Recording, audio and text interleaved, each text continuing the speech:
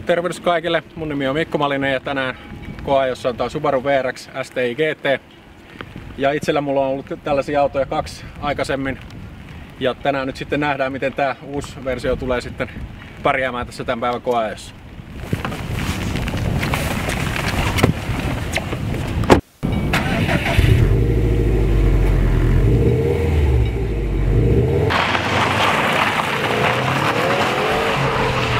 ei välttämättä tätä sisusta ole. Aika paljon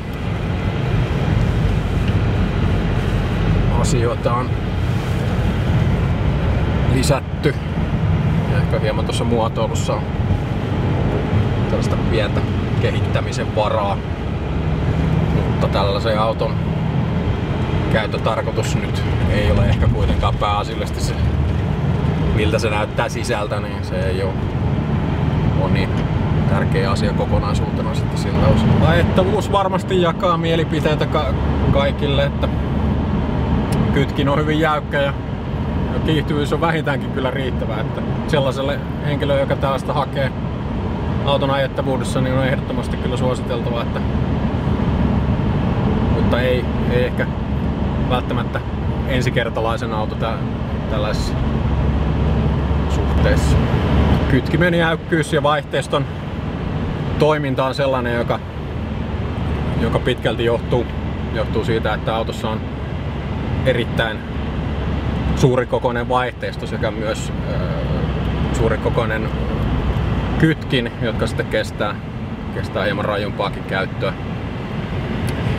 Ja tietysti to, ehkä tottumattomalle tällaiset asiat voi olla, voi olla hieman yllätys, mutta, mutta varmasti sellaiselle, joka tällaisia asioita on ja arvostaa, niin on, on suuri merkitys. Tai ajettavuudessa itsessään ei ole mitään moitittavaa. Että siihen kun näihin asioihin tottuu, niin, niin varmasti kyllä hyvin pärjäät auton kanssa. Vaihteisto suuri kokoisuudesta varmasti kertoo se, että vaihteiston paino on noin 100 kiloa ja sellaisen poistamiseen tarvitsee noin kaksi ihmistä. Että on itse ollut sellaista vaihteistoa kerran poistamassa ja on kahden ihmisen työ sen pois nostaminen sieltä, sieltä autosta. Huomasti tällaisessa autossa niin teho ei tule niin sanotusti ilmaiseksi, eli, eli kulutus on sekalaisessa ajossa noin 10 litraa satasella. Subaru VRX STin eh, historia on aika pitkä jo itsessään, eli vuonna 1994 on ensimmäinen Subaru VRX STI-versio tullut saataville. Ja, ja, mutta Suomeen ensimmäiset VRX STI-versiot on tullut saataville asiakkaalle vasta vuonna 2004.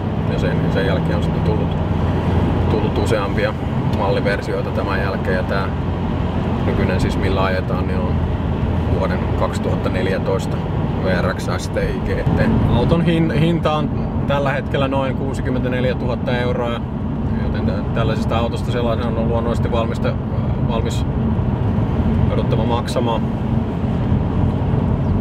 Eli näihin tietysti vaikuttaa pitkälti nykyinen, nykyinen valtioverokäytäntö päästöjen, päästöjen näiden, näiden osalta. Autossa on tapahtunut huomattavia muutoksia kyllä ajomukavuudessa, että vertaa tähän omaan kokemukseen näistä edellisistä edellisistä malleista, niin, niin kuin ajomukavuuteen panostettu reilusti siihen, että aika, aikaisemmin ei, ei ajomukavuus ollut todellakaan se ensimmäinen prioriteetti.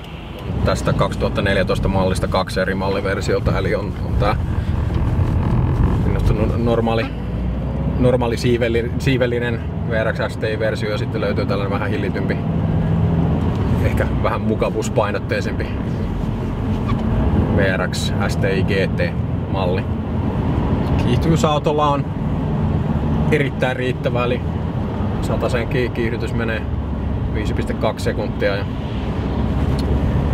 autossa on siis tehoa 300 hevosvoimaa 6000 kierrokselle ja sitten vääntöä 407 newtonmetriä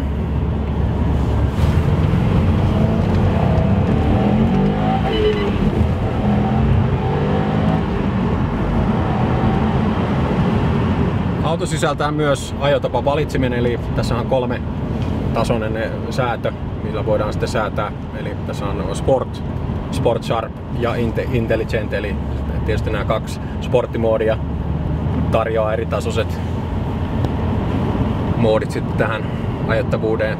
Painotuksena tietysti tämä urheilullinen ajettavuus ja sitten tämä Intelligent moodi kolmantena sitten painottuu lähinnä tähän taloudellisen ajon tapaan.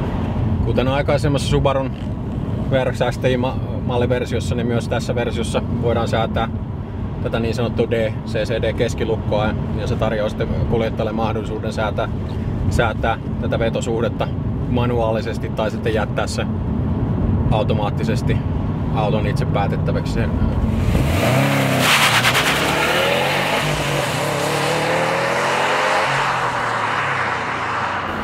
Koen perusteella voidaan sanoa, että auto ehdottomasti sopii sellaiselle ihmiselle, joka hakee monikaittoisuutta, urheilullisuutta.